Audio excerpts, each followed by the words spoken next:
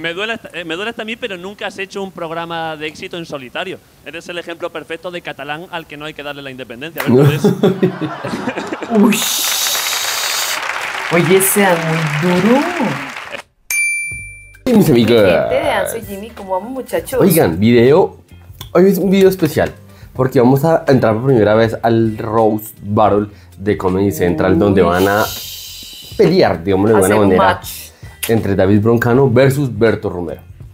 Berto Romero, pero por supuesto que sabemos quién es, pero David. Sí, es el que Broncano. entrevista, ¿te acuerdas? El, el- ya, ya te Ah, no, ya, ya, ya. ya. Entonces, Sí, vamos a reaccionar sé. a estos dos en este roast. ¿A quién le vas a decir? Ya sin saber. Berto Romero. Entonces me lo voy a Berto. O sea, Sí. vamos por Berto. Berto, sí, Pero. no puedes, Berto. Pero de pronto. es vamos Berto, con vamos. el caballo perdedor. Oh my god. Bueno, hagámosle, muchachos. Go. Me encanta. Meter- meterme con Berto, todo el mundo quiere a Berto. Meterse a Berto es como, con Berto es como pegarle con un palo a una foca, bebé. Eh, es bonita, todo el mundo la quiere, es inofensiva. Eh, entonces, ¿somos amigos, Berto? Sí, sí. Nos hemos visto antes. Nos hemos dado un abrazo. Y me gustaría decirte, para empezar, que te huele la boca. Te huele la boca a lo mismo que le huele el coño a Silvia Abril, a la polla de Buenafuente. Uy.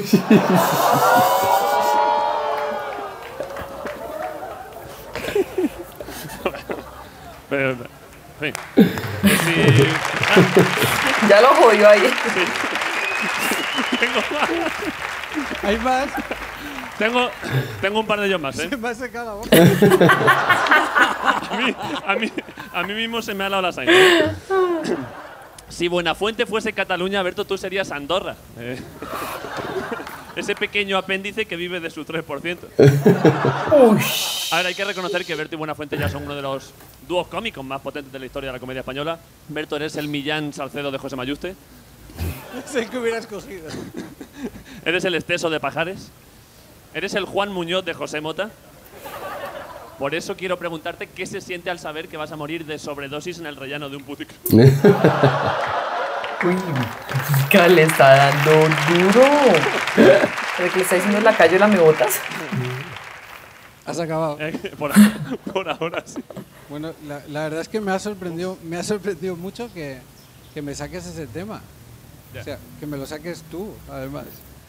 O sea, lo de tener que chuparse el andero para conseguir un puesto en televisión, que me lo digas tú, que eres el último que ha llegado. Oh, por Dios, ¿qué está Porque pasando? piensa que cuando yo se lo hice a él, él tenía mi edad, ahora es un señor de 50 y pico.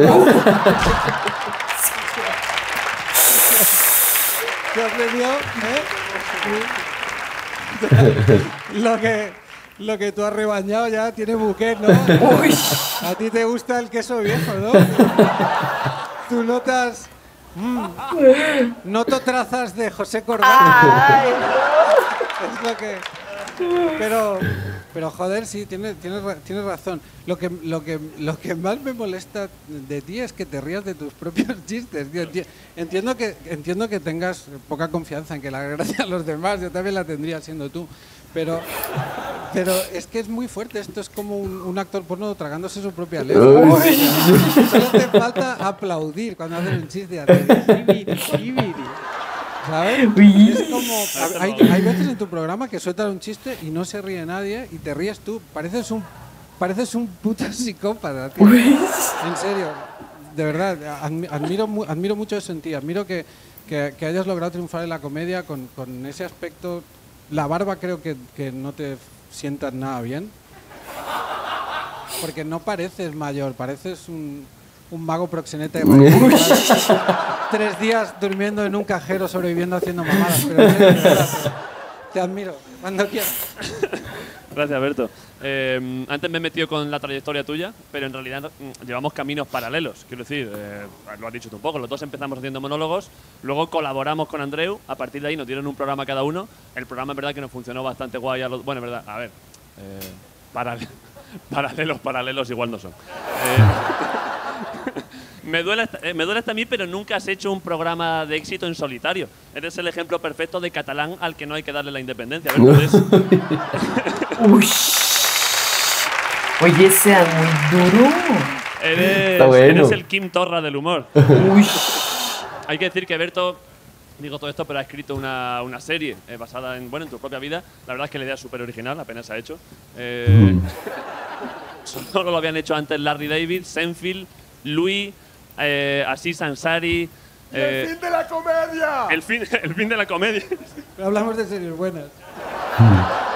Es verdad que lo había hecho antes hasta Ignatius, que es básicamente un mono con una escopeta. Eh, cualquiera viendo esto habría buscado otro rollo, pero joder, tú no. Tú has hecho esa serie sin importarte que fuese la peor de todas. Así que, eh, muy bien. Eh, tienes el mismo criterio que Ortega Cano cuando dijo: Yo creo que voy bien para conducir. Chiste de mi local. Ese chiste bien, sí ya está bien, debe ser muy español, ya yo no lo Y me gusta que me recuerdes lo, de- lo del programa de Berto, porque yo aquello lo, lo- lo entendí en mi vida como, como una hostia a tiempo. Algo que, que el día que te llegue a ti, a lo mejor viene con efectos retroactivos y te deja tetrapléjico. y- y yo celebro no haber acabado haciendo un programa, porque yo me imagino a mí mismo eh, estando cada noche purgando en un programa con bajo presupuesto, rodeado de gente con evidente retraso madurativo y, y- y suplicando porque me vengan buenos invitados al programa y no consiguiéndolo y para mí eso es un puto infierno. la verdad. Eh, no, no me vuelvas a dar la mano nunca más. De verdad, es que, es que lo de que te sudan es, es, es asqueroso. Ya, ya. O sea, no lo digas más por la tele porque por la tele no se ve, ¿entiendes? O sea, que digas, a no ser que te chorren como la boca de un dogo de Burdeos, no se ve por la tele. Un toco. Pero es, es repugnante el estrechar el manojito de pollas viejas. El- ¿Sabes? El, el- el manojito de ubres da, da mogollón de asco. No, no se puede operar, eso no hay. no. David, no, no es que tus novias estuvieran siempre excitadas. Eh, si vas, si vas a lo, has terminado con eso.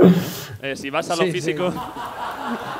si vas a lo físico en un lugar común contigo, todo el mundo se mete con, con tu nariz. Está bien. Y yo creo que hacer chistes con la nariz de Berto es tirar a tablero. Es un- una bandeja. Es como marcarle un gol a De Gea en el mundial.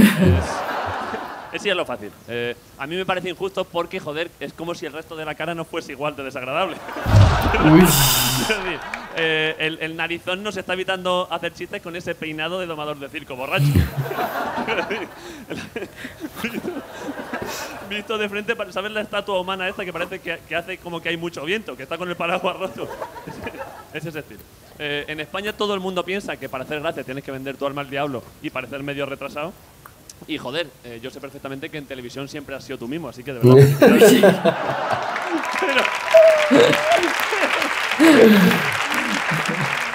Muchas gracias, de verdad.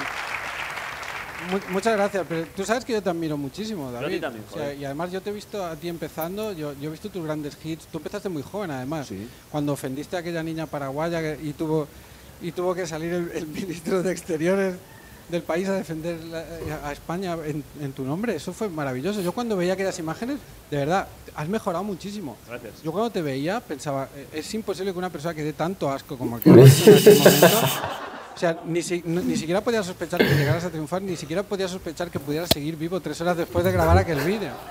Y mírate, eh, eh, estás aquí y, y además me consta que, que, que te cuidas, que no Sí, bebes, que que no sí. te drogas y, y aún así tienes el aspecto de John King más impecable de la historia del show business. Mi pregunta es, ¿qué, qué te da bueno? Porque si, si, si no, no consigues lo bueno de la droga, a lo mejor deberías chutarte jaco para intentar parecer tener un aspecto saludable. Porque supongo que lo que ganas es tiempo extra de vida, pero ¿qué haces con este tiempo extra de vida? Pues tus, tus aficiones son subir montañas, eh, tirarte por desfiladeros. A mí me preocupa mucho esto, porque si te das un golpe en la cabeza, que seguramente te lo vas a dar, Pues te musculas sin límite y sigues vocalizando como la mierda, cada vez veo menos diferencias con Javier Cárdenas. Vaya, has tocado, has tocado hueso. ¿eh? Eh, si, si no te importa, me gustaría hablar de vida personal. Claro. Eh, Berto tiene tres o cuatro hijos, como si fuese del Opus o futbolista Getafe. Pero sin la fe en Dios ni el Lamborghini, que son los apoyos que tienes aquí para afrontar su vida. Eh, tú llegas a casa por la noche y te tienes que enfrentar a ese infierno con la única ayuda de unas gafas de broma. La verdad es que. la verdad es que no hay nada donde asirse. Eh, también has contado a veces que tienes sangre murciana. Ya está, ese es el insulto. No tiene. ¡Último golpe!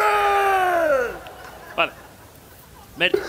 Eh, Berto es valiente. Berto, eres un tío valiente. Y no Eh, necesitaba venir aquí para nada. Hay que tener muchos huevos para haber empezado con Buenafuente y 15 años después seguir siendo el segundo de Buenafuente. Lo fácil hubiese sido ponerse a dirigir cine, como ha hecho Corbacho, ser un referente de la tele como Jordi Évole. Pero a Berto le da igual lo que piense la gente. Cuando terminó Buenafuente en la sexta, la gente decía, hombre, Berto no se va a atrever a irse con el ante- Antena 3, sería demasiado fácil. Pero el tío lo hizo. Cuando Buenafuente volvió a la sexta, todo el mundo pensaba, hombre, ahora ya sí, ahora ya sí que no. ya no va a seguir, ya es demasiado, pero el tío lo hizo una vez más. Y una vez más, cuando Buenafuente se fue a Movistar, a la tele de pago, todos en la industria pensaban que no iba a ir a Leitmotiv por la vergüenza que le daría a cualquier persona seguir siendo un vulgar secundario. Pero Berto, tío, tú te arrastraste como un perro, sin importarte nada, y seguiste siendo el felpudo en el que Andreu se limpia los zapatos. ¿Y qué hay más valiente que eso, joder? Un aplauso para Berto Romero. ¡Un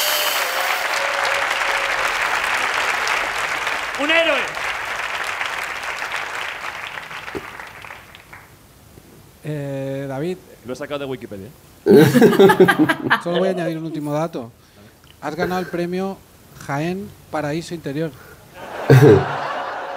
Este era el chiste. ¡Fuerte aplauso! Bueno, el último no lo entendí. Ahí van a decir ganador. Sí. Ah, no. No lo yo dijeron. que le ganó el, el, el, eh, ¿David? David. Sí, yo también creo. Porque Estuvo buenísimo. Dio más duro. Eh, Claro, Berto fue más. Berto daba unas, unas pequeñitas buenas, pero es que este le sacó y le sacó y le sacó tapetos al sol. Ahora esa es mi pregunta.